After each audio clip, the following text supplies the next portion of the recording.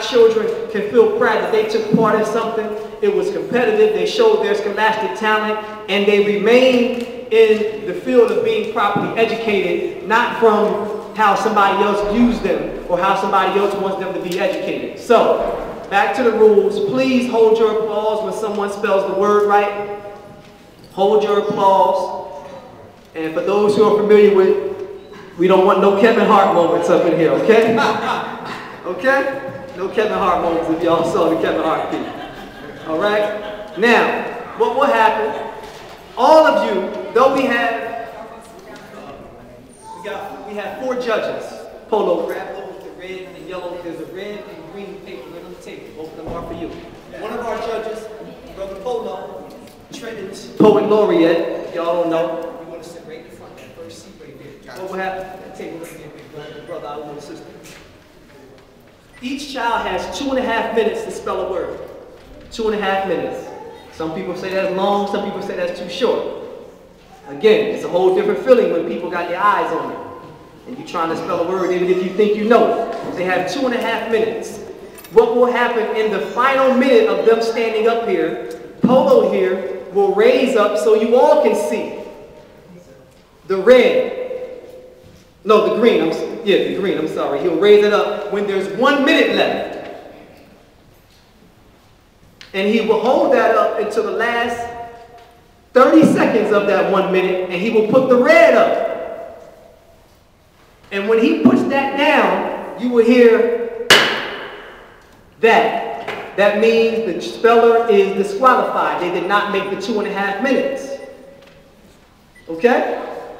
Now, you will also hear that even if they spell the word wrong and he didn't get to that final minute and a half mark or the last minute, if they spell the word wrong, you will also hear that.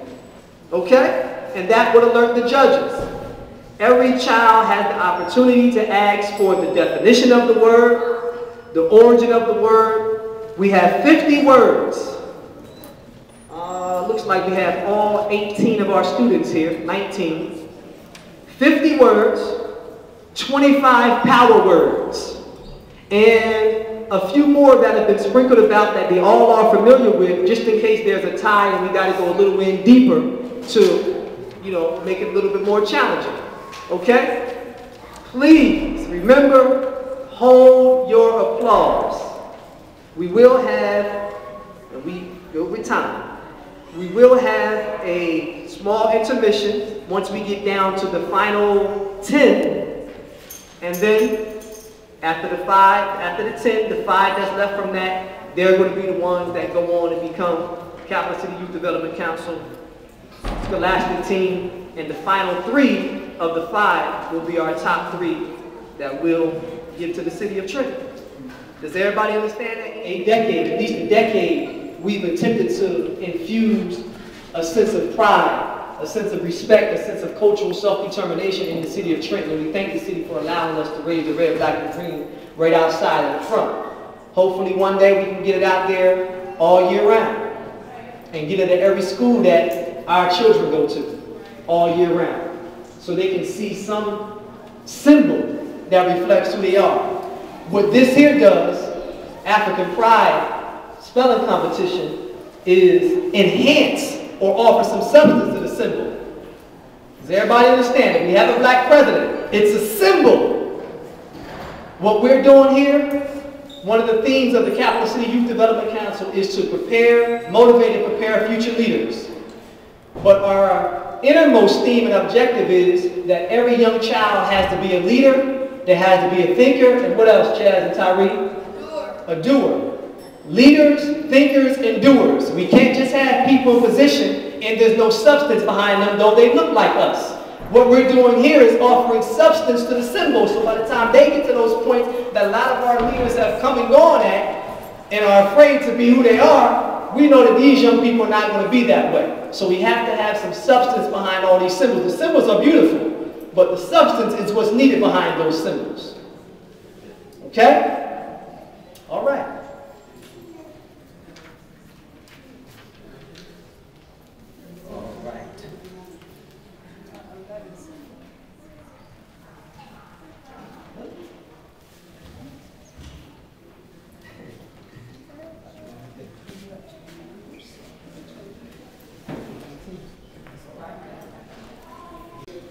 Many names that the Creator has bestowed upon us, the many expressions. Some call him Jesus, some call him Yah, some call him Jah, some call him Allah, some call him Jehovah. But we know all of us represent in some way an expression of the one God. As African people, we make no qualms about that. There's only one. All right? Expressed in many ways. Moment of silence for three people that stand out in this particular week that leads up to this very hour that we're standing here. Tuesday, February the 21st, which we just passed, was the original day we were supposed to host this. That was in honor of the 37 year anniversary of the assassination of Malcolm X. 47, I'm sorry.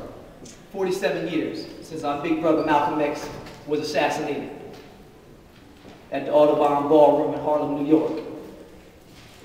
We know what Malcolm went through in the eighth grade, seventh grade, one of his teachers told him when he said, I want to be a lawyer, I want to be an attorney. His white teacher told him, Malcolm, you don't want to do that. You're good with your hands. Your own people won't come to you. We know Malcolm was discouraged at that moment, but what he became for most of us young black men was a premier example of scholarship, a true representation of uncompromising leadership for black people. So we can never leave out any form of uh, revering ancestry without calling on Malcolm's name. Yesterday, February the 22nd, 1929, the backdrop to most of the consciousness in this particular city, Trenton, New Jersey, most of you who grew up in the area of Passaic Street, they used to call it God's Avenue. And Donnelly Homes, where I grew up at, we used to call it Divine Land. And most of y'all who y'all say, yeah, I want to get something to eat, I'm going to get, what's the word? Freedom, that. Most of y'all would say, yeah, what's the hour? People walking around saying peace. I'm going to get some nourishment. People saying, uh, you know, uh, what's up with the cipher? Peace queen. What's going on, son?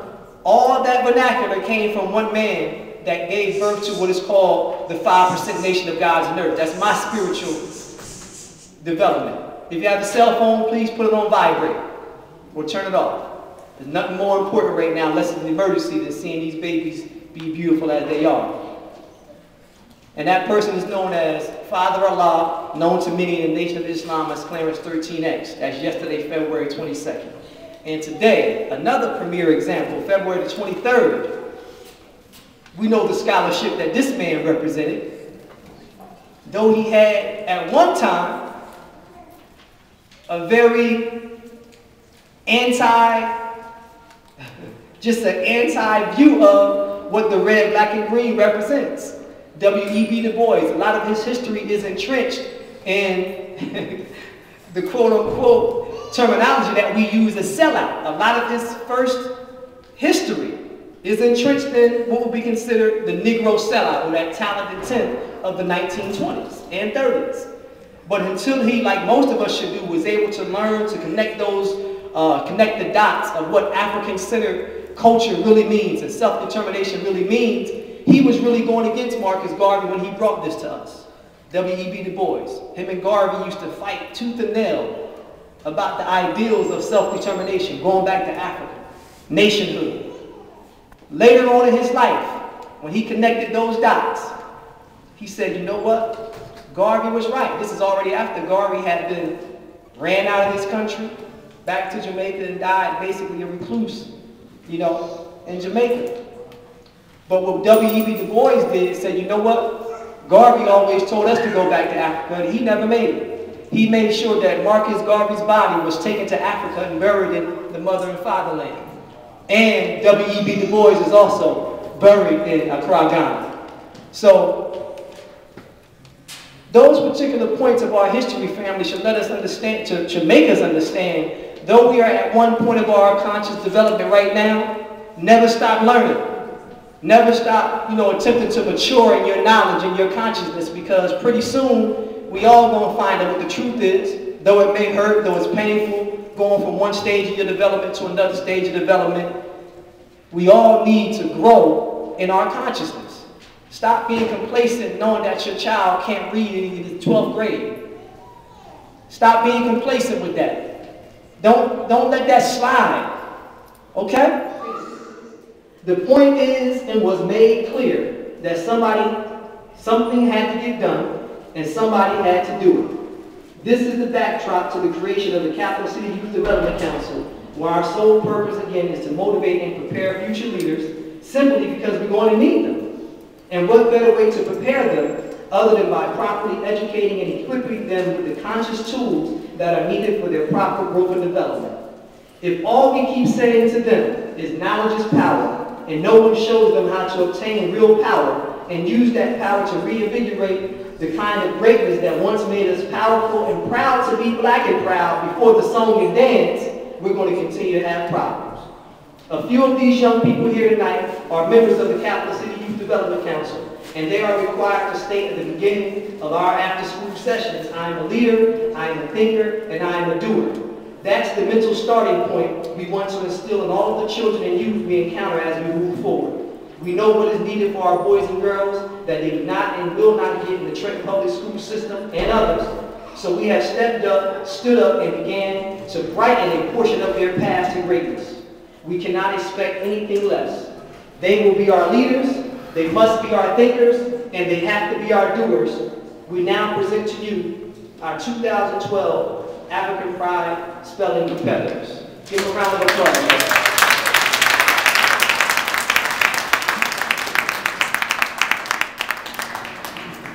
All right. Somebody I don't see.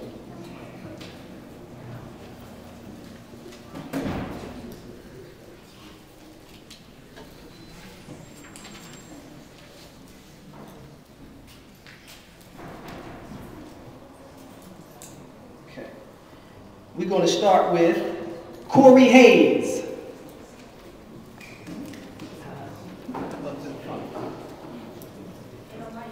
Yeah. The sad part is that we have this uh, podium here. They couldn't find the mic. This cat didn't get us in the front. So all of you are a little bit tall. You will come over here and spell it, okay? Right? unless unless you get it just fine.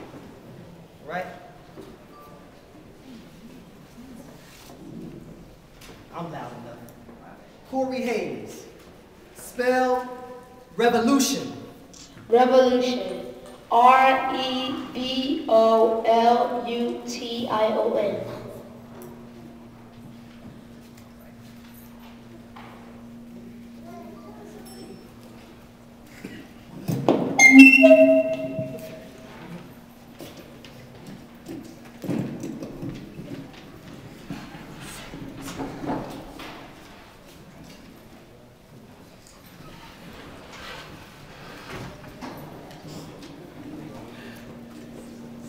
Ajane Wells Daniels.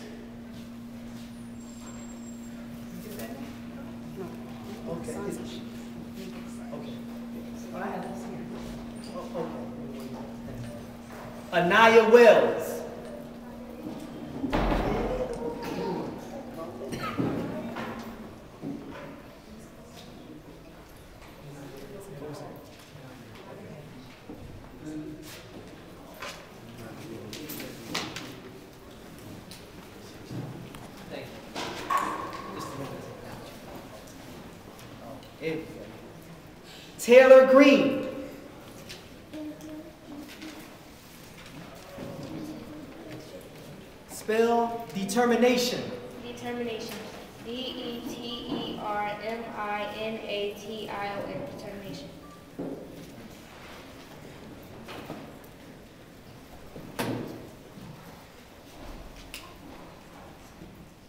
Salil Siplin.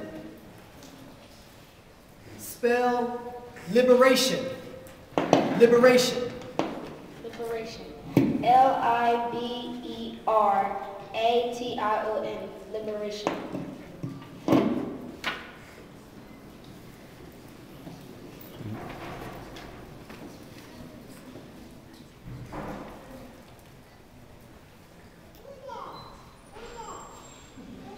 Anaya Carter.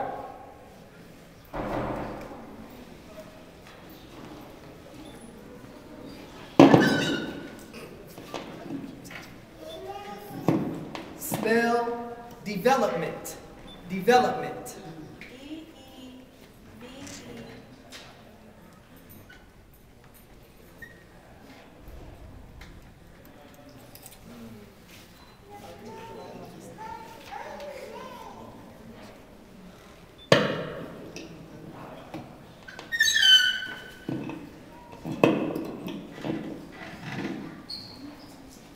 D E E V E L O P M E I N E N T.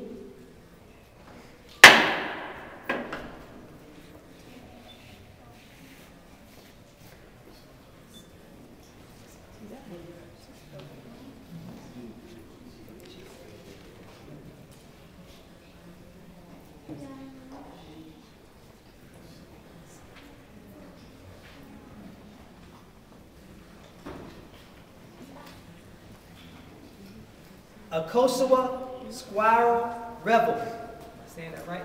No. Akosua. Squire. Squirrel.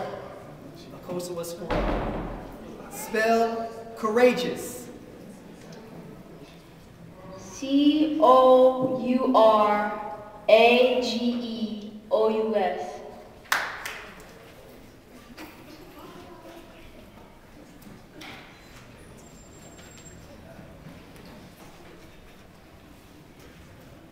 Kevin Lynn.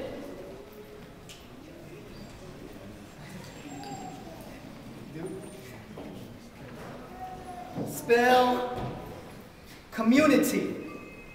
Community. C U M M U N I T Y.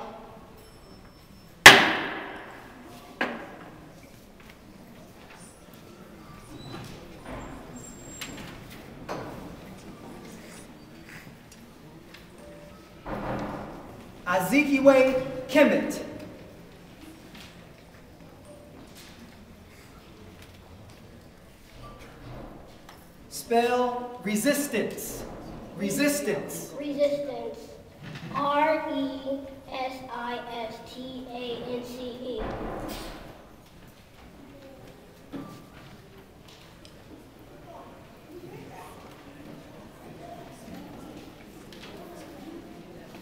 Mike Conover.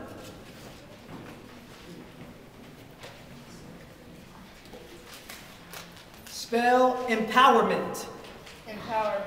E M P O W E R M E N T. Empowerment.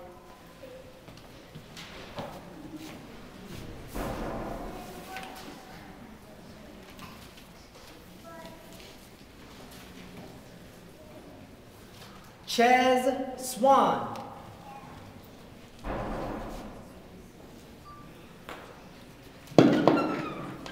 Spell inspiration. Inspiration. I N S P I R A T I O N. Inspiration.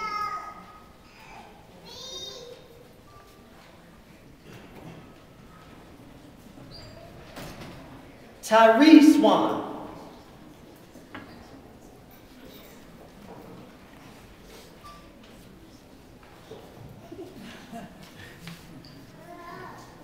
Spell spirituality. Spirituality. S P I R I T U A L I T Y. Spirituality.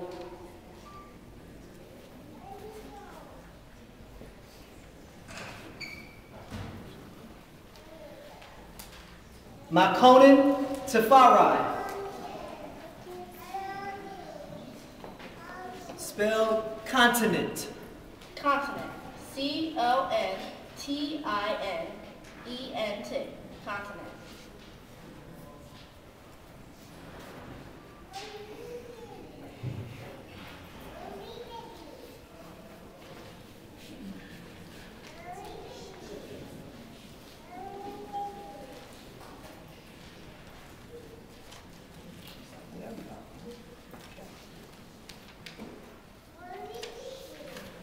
All right.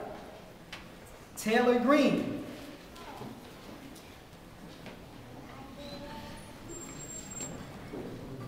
Spell original.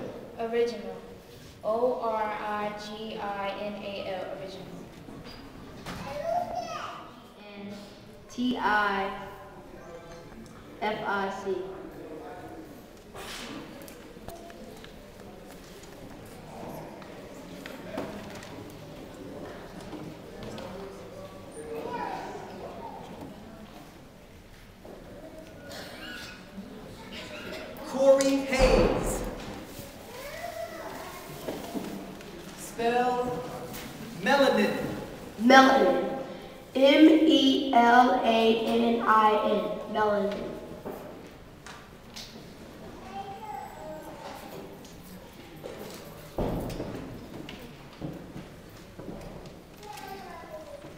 to live.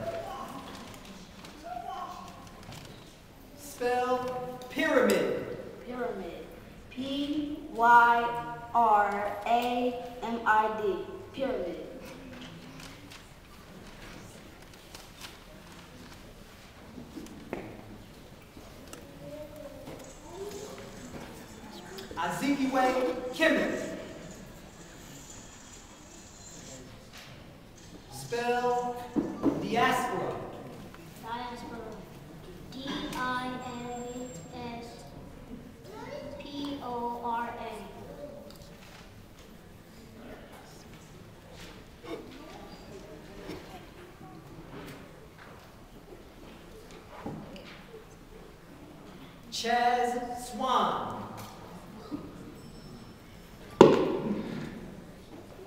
Spell universal.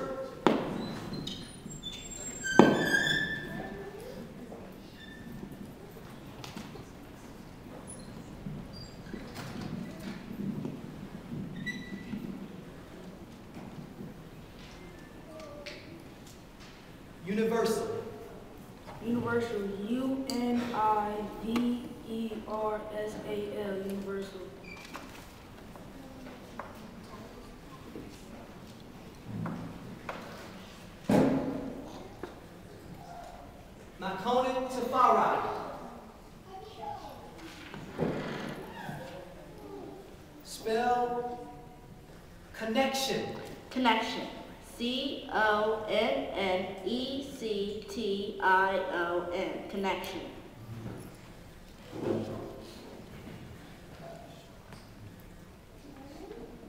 Tyree Swan.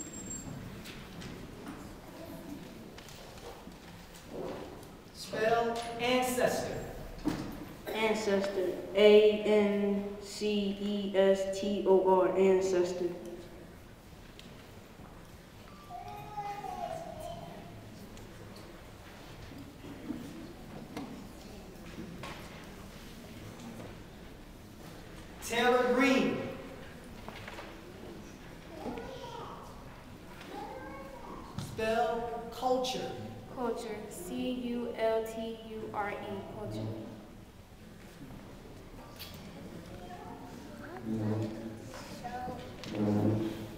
Salil Siplin.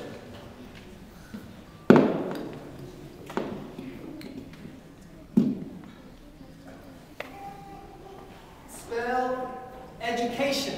Education. E-D-U-C-A-T-I-O-N.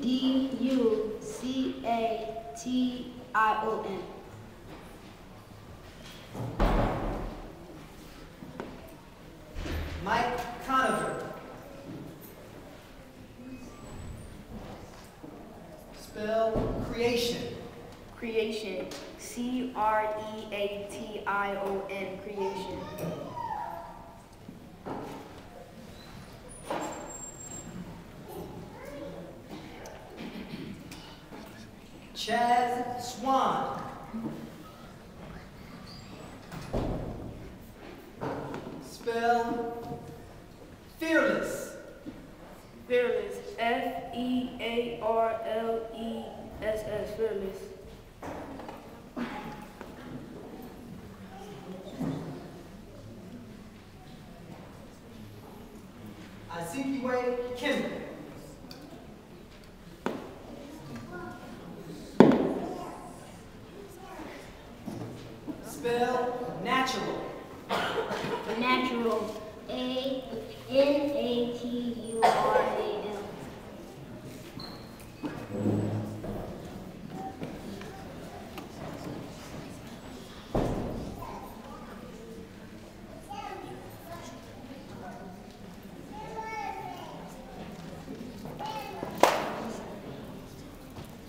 Tyree Swan.